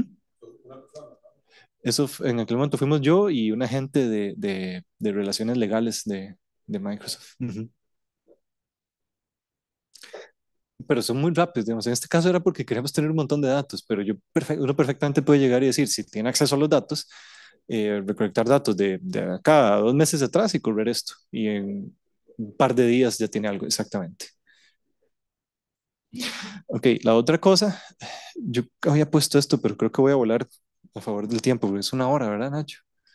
A las nueve. Ok, entonces voy a volar. voy a ponerle para que veamos el ejemplo de Costa Rica nada más. Eh, en contra de la trata de personas, lo que se hace en este caso es, este, aunque no lo crean, casi que la trata de personas es como que recluta gente. es, es, es muy, es muy raro, eh, pero eso funciona. Pues nosotros recibimos un corpus de, de, de, anuncios donde le decían a usted, venga, trabaje con nosotros o, o, cosas así medio fishy. Este, inclusive mucho era este, para, para prostitución. Entonces son datos muy sensibles que eso no se puede abrir y analizar.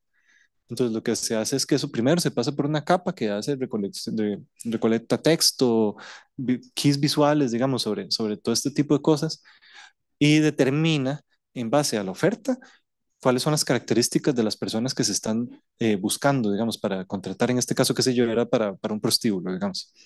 Entonces decían que eh, en una zona, que iban a hacer casting en una zona. Entonces, ¿por qué esa zona? Entonces ya uno agarra un, un, un lugar geográfico y lo empieza a amarrar con eventos fuera de eso.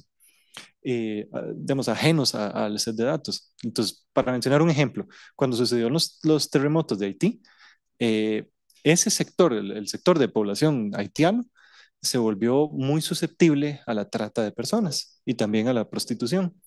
Entonces, lo que uno hace es, entonces, como lo ven, ya sé que Haití, entonces probablemente todos los inmigrantes haitianos en Estados Unidos son candidatos o son targets de trata de personas. Entonces, ya usted tiene primero un sector demográfico, un evento temporal entonces uno lo que hace es empezar a amarrar datos y ya con eso puede plotear un grafo de nuevo, siempre son grafos. Entonces, ploteando un grafo, entonces se puede decir, ok, este sector tal, tal, tal, y llega a una persona. Entonces, ¿qué es lo que hacen programas este, como de, esto, de, Tech Against Trafficking? Lo que hacen es correr todo este tipo de análisis, identificar personas y contactarlas para decirles, usted es posible víctima de trato, usted es posible víctima de, de explotación sexual, dada la condición o digamos, dado lo que se está viendo, para que esté alerta y alertar a las ONGs. Entonces las ONGs ya van a trabajar proactivamente para evitar, digamos, que todo este tipo de cosas se den. Obviamente son esfuerzos muy de primer mundo, ¿verdad? Imaginarse algo así en Costa Rica es difícil. Lo que sí se puede realizar es el análisis de datos y poder determinar poblaciones, sectores de riesgo. Todo esto cambia con el tiempo, entonces ser más proactivo a, a, a todo esto que pueda suceder voy volando. Esto era lo que les decía, que se había hecho un análisis de, de, herramientas para ver la cobertura que había para víctimas de trata, víctimas de explotación sexual, etc. Entonces, el, ahí tal vez es el grafito. Y esto de nuevo era como todo el estudio eh, de sectores, de edades, mujeres, hombres, este, origen, eh, ciudadanía. Entonces, todo eso se analiza para poder determinar, digamos, víctimas de, de, de de trata y estos son atributos dentro del grafo, que lo que hacen es, pues, dice, hay una comunidad muy cerca alrededor de algún nodo de, de, de algún tipo de riesgo de trata, entonces ya uno dice, ah, sí, no, esto, es, esto está fatal, de, debo alertar. Eh, corrupción, entonces en procesos, este tiene, sí, eh, voy a volar un poquito. Eh, sí. Entonces, eh, lo que se hace es este, analizar, en este caso era licitaciones públicas en Brasil, y ver eh, patrones de corrupción. Entonces, lo que uno hace, por ejemplo, lo que hicieron aquí MECO y toda esta gente de que, qué sé yo, se hacían colusión, Nacho me pasó la palabra en español porque yo, yo se hacía en inglés, este, lo que yo hago es, vamos a buscarlo, es analizar patrones de comportamiento de empresas a lo largo del tiempo. Entonces, ver, qué sé yo, actividad, esto es actividad de una empresa, actividad de la otra y actividad compartida. Entonces uno puede ver cosas como, mira, si están compartiendo mucha actividad, si están licitando lo mismo, probablemente se están poniendo de acuerdo.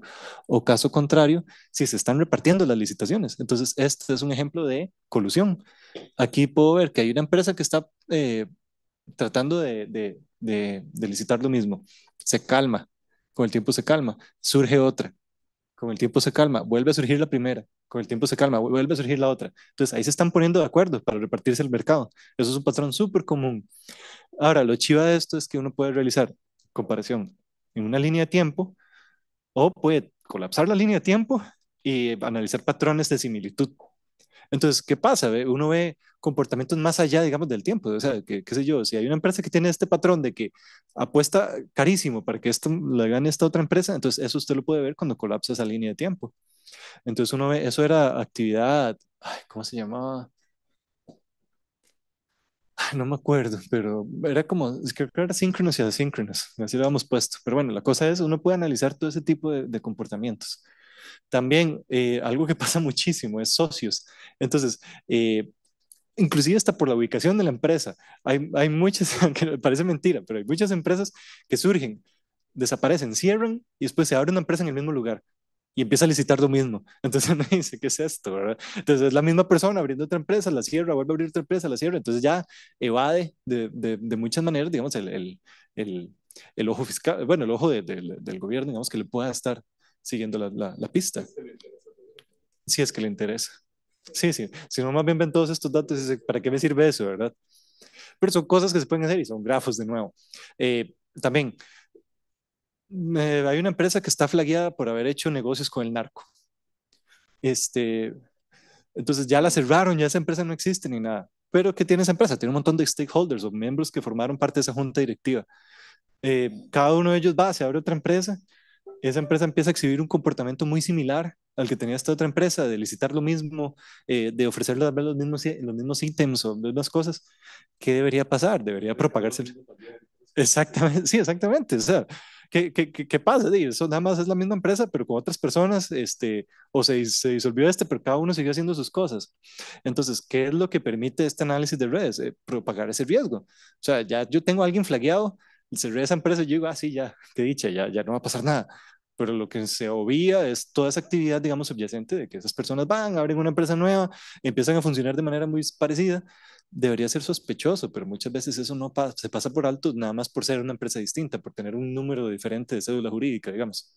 Entonces, esa, propagación de riesgo se puede hacer a través de grafos. Entonces, esas redes se generan y esos red flags, digamos, que tenía esta, esta empresa, yo los puedo propagar hasta, qué sé yo, digamos que quiero propagarlo hasta cinco nodos de distancia en la red. Entonces, ya tengo candidatos para investigar. Entonces, eso se puede hacer. Y eso se hizo en Brasil. Ven, entonces, de nuevo, muy rápido. Aquí hay una empresa que está ligada a esta otra empresa de acá y hay unas conexiones que deberían verse en rojo, pero creo que no se ven. Y aquí hay una que está, esta está flagueada de rojo. Entonces, esta está asociada, digamos, aquí hay un tender, es este, una, una licitación. Entonces, una licitación de otra empresa de alguna manera está conectada a esta empresa que tiene eh, un, un, red flag. Entonces, ya son escenarios que yo debería investigar. Y ahora veamos lo del Archivo Nacional para, para ponerle. Y eso es...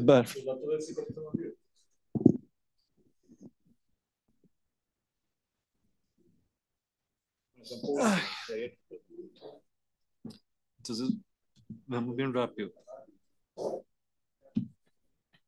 ¿Dónde está mi mouse? Sí, pero no lo veo aquí. Qué vacilón. Como, parece como abajo a la derecha. ¿Se ve aquí? Qué vacilón, aquí yo no lo veo en la compu. Aquí está abajo. Entonces, para esto lo que yo hice fue bajar datos de eh, el Archivo Nacional. Lo que hice fue bajar unos datillos del Archivo Nacional. Eh, son documentos de, de, Word y después lo que hice fue pasarlos a un TXT normal. Entonces, de colegio señoritas, colegio médicos. Probablemente el análisis que estoy haciendo no tiene mucho sentido. Fueron los datos abiertos que conseguí en su momento en el Archivo Nacional. Traté de entrar a gobierno abierto y no había nada, pero nada. O sea, Aquí está por si quieren ver, ¿verdad? Era ridículo. Vean, este es un dataset. tiene, tiene, literalmente siete, siete, filas, bueno, seis filas quitando los títulos. Entonces, esto era un dataset, con eso no se puede hacer nada. Y estos eran informaciones de contratación. Y reparación de portátiles, construcción de indicaciones. Y esto estaba actualizado a febrero del 2024. Entonces, no pude, no pude hacer mucho con eso. En el registro nacional sí conseguí más datos. Entonces, qué sé yo, nada más para enseñar lo que tiene un, archivo por dentro. Entonces, estos son documentos Word, este es uno de Limas. Eh, yo llegué, hago un, un, lo convierto a TXT y así como está, se envía al, al, al Graph Rack que les enseñaba. El Graph Rack va a generar cosas como estas. Entonces, este es el output, voy a correr esta ventanita que me Este es el output del, del Graph Rack. Este es el graph. Entonces, así como está, no me dice nada. Entonces, es donde ya puedo llegar y empezar a correr cosas. Bueno, dejarlo en blanco hasta que les cambie el color. Entonces calculo centralidad, que fue lo que les enseñé. Calculo comunidades, corro detección de comunidades, que este es el famoso Leiden.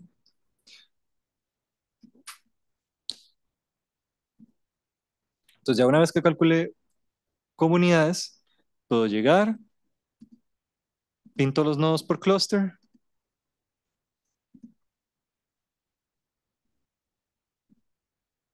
Entonces ahí ya coloreé mis nodos por cluster, le doy aquí apply, ya tienen colorcito.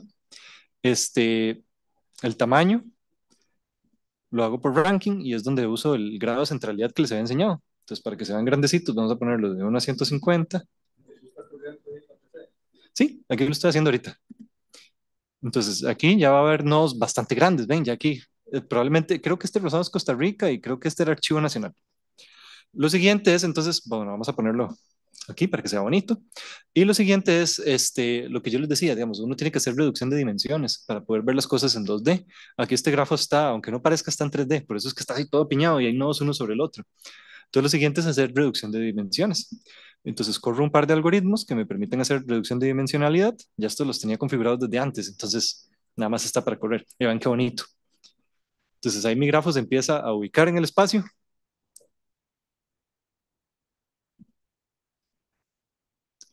las comunidades y todo empiezan a quedar más cerca, digamos, y los noditos que se alejan del grafo es porque no tienen mayor relación con lo que está sucediendo. Ya se empieza a descomponer más dimensiones, ya ahí se va corriendo un poquito. Ven que las comunidades se van moviendo juntas. Entonces, los nodos que están ahí lejanos probablemente no tengan nada que ver con la información. Eh, lo que va quedando bastante cerca son comunidades. En algún momento ya el algoritmo llega a estabilizar el output.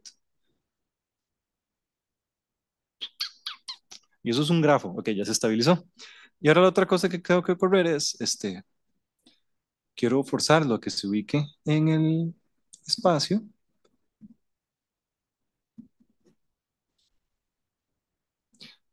Y ya esto le termina de dar forma al grafo. entonces ahí va, está, está separando comunidades, está explotando el grafo. Esto también en algún momento se llega a estabilizar. En el momento, este, este algoritmo corre tanto como yo lo deje. En algún momento en el que yo, esté feliz con el output, nada más lo detengo. Probablemente aquí ya yo esté feliz porque ya las cosas se ven bastante acomodadas. Y ahora sí empieza el análisis. Entonces, una vez que tengo esto, voy a cambiar acá. Ya una vez que tengo mi output, puedo llegar y acercarme y ver qué son todos estos nodos. Eh, vamos a ponerle texto para saber qué es cada nodo. Entonces, por ejemplo, esta verde tal vez me llama la atención. Ah, mira, es el archivo nacional. Y el archivo nacional está relacionado con todo esto. Luz Alba Chacón de Umaña, Municipalidad de La Juela, Hacienda, Norma Internacional de Descripción, Comisión de Descripción, Rocibel Barbosa Quirós, está relacionado con Costa Rica, que es el nodo que yo les decía que tiene mayor centralidad. Vean, voy a quitar esto. Este es el nodo que tiene mayor centralidad. El segundo nodo con mayor centralidad es el Archivo Nacional. Después hay un montón de nodillos, tal vez que sean interesantes. ¿Qué será este? No tengo idea. Vamos a ver qué es. Eso se construyó a partir del texto. Eso se construyó a partir del texto que acabamos de ver. Este es el archivo histórico. Y el archivo histórico está relacionado con todo esto. Ministerio de Hacienda, que también tiene una centralidad alta este, Patín y Patín, no sé qué será eso, Ministerio de Cultura, el Teatro Nacional. Todos estos datillos están saliendo de ese corpus de 67 documentos que bajé del Archivo Nacional. No me puse a leer los documentos, entonces no sé qué tienen los documentos, ¿verdad? Es el ejemplo que corrimos para esto. Pero venga, aquí sale, por ejemplo, José María Figueres Ferrer, y hay algo muy interesante que estaba ocurriendo ayer. Entonces, este es el grafo de conocimiento, esto es un knowledge graph. Este, veamos algún nodo lejano, nada más para salir, para ver qué se ven. Aquí hay una comunidad de nodos lejanos, vamos a ver qué es. entonces hay una comunidad, es un clustercito, y esos son, dice, se ve horrible. ICT, vamos a hacer esto más pequeño. Ahí está. Entonces, es la MUNI de San José, fotografías, documentos sonoros, la Municipalidad de Bangares, expedientes judiciales, dice, expedientes de acuerdos, censo municipal. Bueno, está interesante, pero eso está lejano, quién sabe, tal vez no tiene mucha, no, tal vez no, no tiene mucha cohesión con lo que sea que esté en el centro. Que al parecer todo gira en torno al Archivo Nacional, entonces probablemente sea relaciones de, de estas cosas hablando acerca del Archivo Nacional. En fin, la cosa chiva es, este, probablemente esto no se muy bien, entonces lo que va a hacer es pasarlo a, a un documento. Entonces yo tengo este notebook eh, es código, básicamente. Lo que hace es, eh, yo tengo una instancia de, de, de, un LLM eh, que se está alimentando estos datos. Esto está corriendo sobre OpenAI. esto es GPT 4.5 Turbo, si no me equivoco. Entonces yo ya puedo empezar a hacer preguntas. ¿Qué es lo que estoy haciendo acá? mientras les enseño algún resultado, vamos a dejar una corriendo. entonces, agarremos un nodo cualquiera. Ah, no sé cómo va a salir eso, pero vamos a ver qué tal. Vamos a ver, vamos a preguntar por el IMEX. Entonces, se me perdió. Aquí está. Vamos a tirar una pregunta por el IMEX, la vamos a dejar corriendo mientras vamos a ver otras preguntas que, ha preparado para que vean que vacilón. Entonces aquí puedo preguntar, ¿qué es el IMEX y cómo se relaciona con el Archivo Nacional de Costa Rica? Dejar eso corriendo y ahorita vamos a ver. Ah, bueno, sí se ve, ¿verdad? No se ve tan feo. Súper. Entonces ahí está corriendo, ¿verdad? Algo va a generar. Pero preguntas, este, ayer pregunté por Rafael Ángel Calderón y me dijo algo de corrupción. Entonces yo le pregunté, ¿está ligado Rafael Ángel corrupción? Eh, perdón, ¿está ligado Rafael Ángel Calderón a casos de corrupción? Esta es la respuesta del LLM. Vínculos de Rafael Ángel Calderón con casos de corrupción. Rafael Ángel Calderón, una figura política de relevancia, ha estado vinculado a casos de corrupción.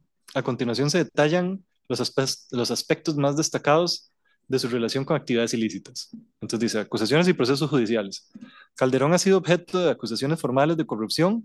Estas acusaciones se centran en su participación en esquemas de soborno y malversación de fondos durante su mandato en cargos públicos.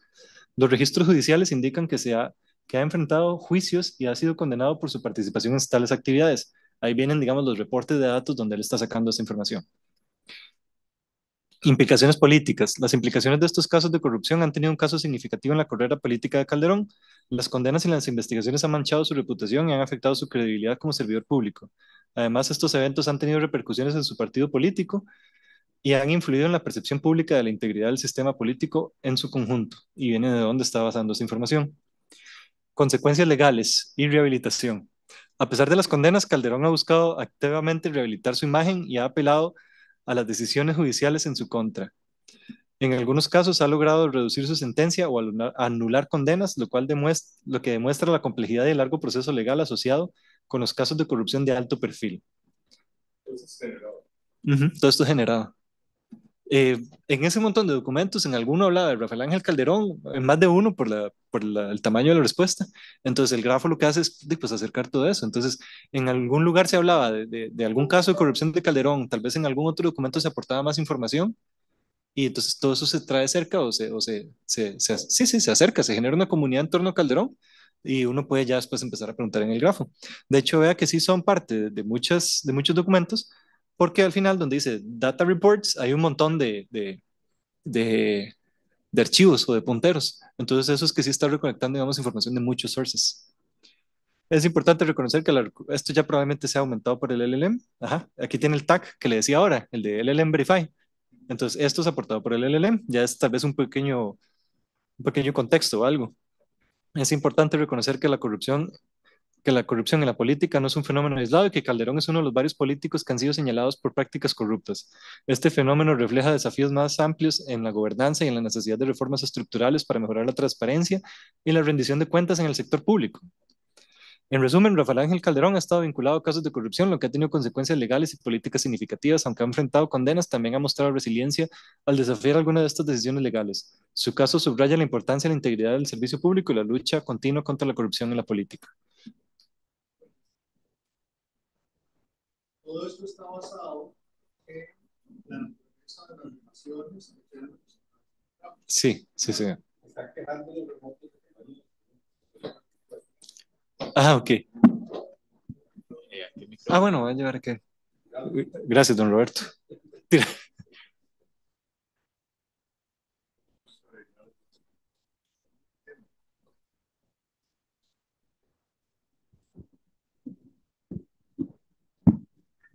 Gracias. Eh, estaba viendo que todas estas, toda esta información está basada en la, en la naturaleza de las relaciones que quedan representadas en el grafo. Eh, habiendo leído literatura muy vieja, si uno se pusiera a hacer esos grafos a mano, tendría que decidir cuáles son las relaciones que va a representar. Un caso trivial sería, qué sé yo, una relación padre-hijo. Eh, Juan es padre de Pedro o Pedro es hijo de Juan. ¿Cuál de las dos almacenar? ¿Cuál tiene ventajas? ¿Cuáles no? Eh, habiendo utilizado un mecanismo automático para generar el grafo, eh, ¿cómo se decidió o qué catálogo porque hay catálogos de relaciones utilizar Ujú, para construir el grafo. ok. ¿Y qué, qué alternativas hay? ¿Qué eh, ventajas o desventajas podría haber si las hubiera? Súper, qué, qué buena pregunta. Eh, voy a dividirla en dos partes. La primera para decir si quién es hijo de quién o quién es padre de quién. En este caso, para reducir la complejidad y eliminar por completo eso, lo que se hace es que los, los, los vértices no tienen dirección. Entonces, eh, que usted esté asociado con este eh, significa lo mismo en esta dirección que en esta dirección, porque no tienen dirección.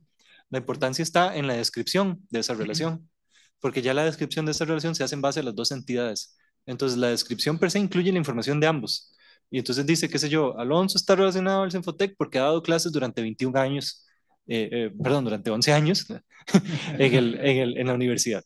Entonces, este tipo de cosas, digamos, lo, lo que se hace es que eh, se remueve la dirección y la descripción per se incluye toda esa información. Ahora, ¿qué tipo de relaciones o qué cosas son las que me interesan? Es donde está el valor, digamos, de que todo esto sea generado o extraído, pero vamos a quitar esto, por un, por un LLM. Eso es tuneable, eso es un parámetro. Entonces, cuando yo estoy realizando el análisis de mi corpus, yo le puedo decir qué tipo de relaciones son las que me interesan y darle ejemplos. A la hora de darle ejemplos a un LLM, las, las, la calidad de las respuestas eh, mejora drásticamente. Entonces, tenés que decidir de antemano sí. cuáles relaciones eh, te parece valioso que el LLM identifique. Sí, darle una guía. Él okay. siempre, va, siempre va a investigar. Pero, Como o sea, parte yo, del prompting. Exactamente, parte del prompt es, y tampoco es algo muy exhaustivo. ¿no? Yo le puedo decir, estoy interesado en casos de corrupción, y ya eso lo sesga. Entonces uh -huh. él va a decir, ok, voy a extraer relaciones en base al análisis textual que diga que estén relacionados de alguna manera a, a, a casos de, de, de corrupción. Y, por ejemplo, otra cosa que yo puedo decir es, me interesa lo que sean eventos. O sea, lo que sea que se determine como un evento. Y yo le digo, un ejemplo de evento para mí es eh, el, no sé, el 20 de marzo hubo un desayuno en, en la Fundación Omar Dengo. Eso es un evento. Entonces ya le LLM como un ejemplo, entonces va a ir a buscar eventos que estén que sean similares, digamos, a, a, lo que yo estoy dando de información. Okay. Sí.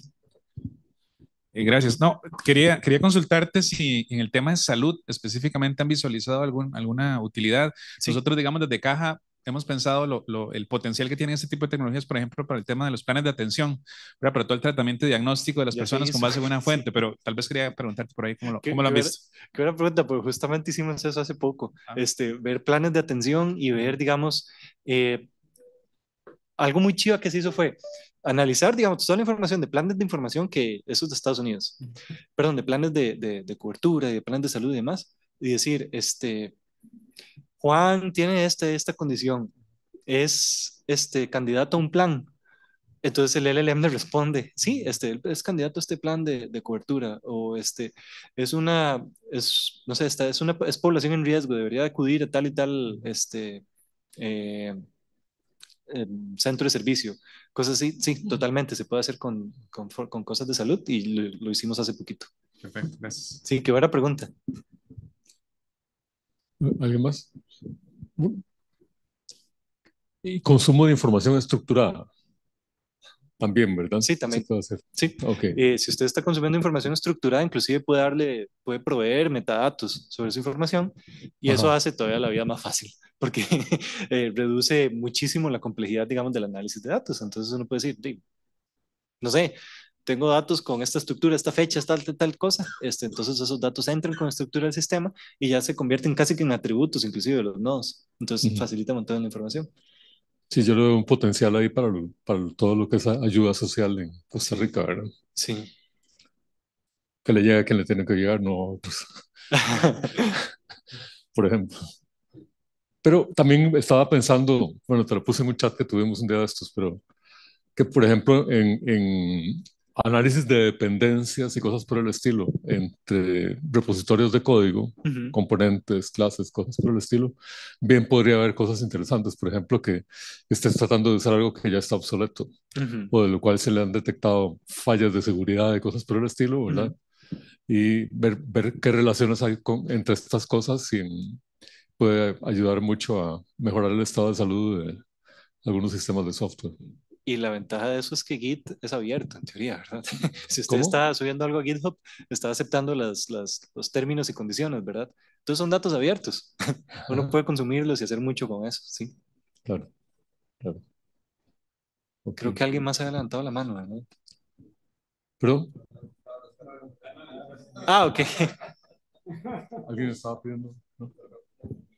Lo que también me imagino yo, eh, estudiantes en situación de riesgo, digamos, en, en universidades, en Sí. colegios, etcétera, pueden haber, Sí, para identificar, digamos, quién es mejor candidato para una residencia, digamos, o para una beca. por ejemplo, sí, pero también hay, hay distintos factores de riesgo que puede haber un estudiante, ¿verdad? Ah, sí. Situaciones familiares y cosas por el estilo, que Ujú. hace unos años hubo un, un proyecto, el, el PIAT, no sé si se recuerdan, y era, se recogían también informaciones, eh, da- datos sociales, económicos y de salud de los, de los Ajá. chicos y las chicas, ¿verdad? Mientras iban avanzando en el sistema escolar. No sé qué habrá pasado con eso.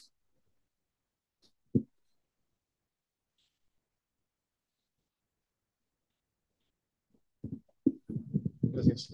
En, en términos prácticos, si alguno de nosotros, alguna de nuestras instituciones quiere comenzar a utilizar esta tecnología, eh, ¿qué estaría involucrado? ¿Cuáles serían los principales pasos a dar? ¿Cuánto esfuerzo humano normalmente se requiere o podría requerir? ¿Cuánta inversión monetaria podría ser necesaria? La primera ventaja es que es código abierto. Entonces, eh, la barrera de llegar y descargar el código ya superada, ¿verdad? Fuera de eso son los costos, tal vez que eh, la, la curva de aprendizaje, porque probablemente se necesite alguien que sepa de, de, de prompt tuning, tal vez, ¿verdad? Para poder hacer un, de una construcción más educada de tanto de, de prompts como del grafo. Eh, probablemente si uno llega y hace un, un, eso se llama un zero shot. Un zero shot es cuando uno no modifica el, el, el prompt y usa el sistema como está de- del LLM. Eh, va a tener buena, va a tener calidad de respuestas, pero probablemente no sea tal vez lo que esté deseando, si, si es algo muy, muy nicho. Entonces, la curva de aprendizaje de eso y los costos que tiene asociados el, el uso de, de, de OpenAI o de los, de los GPTs, que si vale la pena decirlo, esto es más caro, digamos, que una consulta eh, directa a, a GPT, ¿verdad? Porque eh, hace mayor cantidad de queries, digamos, al, al tener que tener una ventana contextual mucho más amplia y al tener y al ir a recoger datos a, a mayores lugares, digamos, es, es más cariñoso. Y, y bajo una filosofía abierta, ¿necesitas OpenAI para esto? ¿O puedes usar otro LLM como Llama? se puede usar otro LLM. Lo hemos probado, sin embargo, es vacilón. Lo hemos probado con Mistral, lo hemos probado con Llama, eh, con Phi, con, con el de Azure. Este, Ujú. es vacilón. Si, si uno no lo, no lo he probado con BART, bueno, con Gemini, sería, sería una opción interesante ver cómo se comporta con Gemini. Sin embargo, digamos, a, a partir de ese análisis, como viendo el estado del arte, eh, sí recomendaría usar OpenAI. Ujú. sea cual sea el sabor, OpenAI Azure, OpenAI público, lo que sea, este, por el hecho de que la calidad de las respuestas es mucho mayor en OpenAI. Como, como hay mayor inversión, es Claro. obvio, digamos que es, que es, Ujú.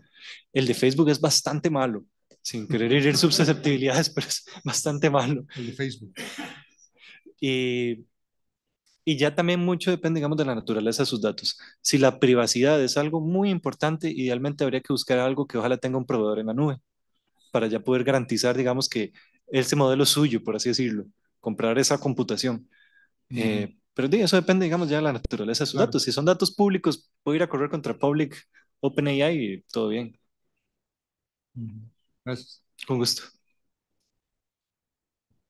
Y ya para terminar nada más, eh, de la pregunta esta de, de, de Rafael Ángel Calderón, entonces me dio por preguntar que cuáles casos de corrupción estarían en ese corpus, digamos, que estamos alimentando. Entonces fue vacilón, porque aquí menciona este, Costa Rica con muchas, bla, bla, bla.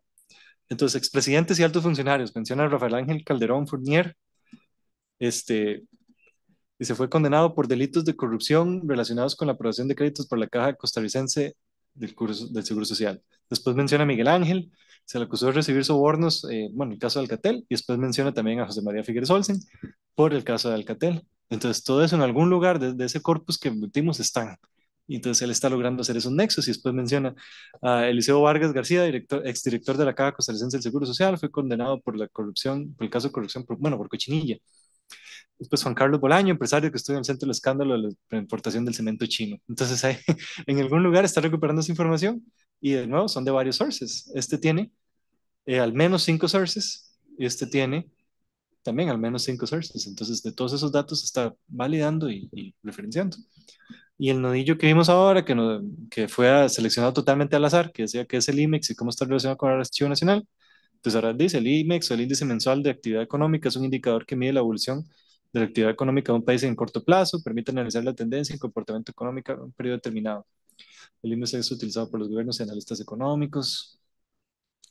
Y la parte importante, la relación con el IMEX, que probablemente eso no sea, o sea, no sean datos eh, que están explícitos en algún lado. Entonces ya habla que es el Archivo Nacional, este, dice que es una institución encargada de la custodia, conservación y difusión del patrimonio de Costa Rica. Este, podría parecer que no hay una relación directa entre el IMEX y el Archivo Nacional. Es posible que existan puntos de conexión en términos de datos e información histórica. Por ejemplo, el Archivo Nacional puede albergar datos y documentos históricos que permitan a investigadores analizar retrospectivos de la actividad económica del país. Estos análisis pueden incluir la revisión de registros económicos pasados, estadísticas de comercio y otros documentos que al ser digitalizados y analizados podrían ofrecer una perspectiva más amplia de la evolución económica de Costa Rica. Además, el Archivo Nacional puede colaborar con instituciones económicas proporcionando accesos a series de datos históricos que son relevantes para la construcción y ajustes de, y ajustes de índices económicos del IMEX. Esto es especialmente importante cuando se requiere ajustar los índices a cambios metodológicos o mejorar la precisión de las mediciones económicas. Y después el resumen de lo que se acaba de leer. Y sí, eso sería. Ya, nada más concluir con eso, me voy a dejar de, de fondo el, para inspiración el grafo. Muchísimas gracias y no sé si haya más preguntas. Muchísimas gracias.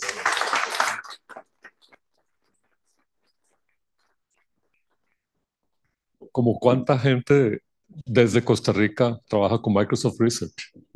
Por curiosidad. Creo que son tres. Tres. Sí. Andrés, vos sí. Y un muchacho italiano que vive acá. Bueno, muchísimas gracias. Muchas gracias, Nacho.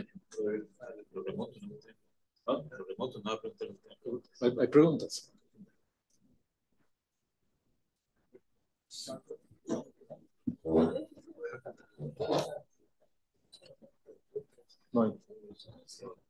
Bueno, muchas gracias por estar aquí con nosotros. Que tengan un buen día. Ya se van bien desayunaditos de mente y cuerpo.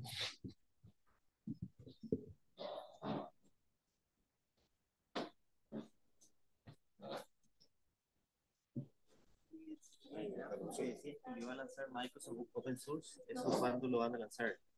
Y ahorita estamos del y para lanzar eso, ojalá pronto. Sí. Nosotros en la fundación habíamos ayudado al INCAE para hacer un análisis de, que usan System Sync para eh, como unos cargadores de Costa Rica que iban a ser de ruta eléctrica. Y, y usamos eh, Entonces, no sé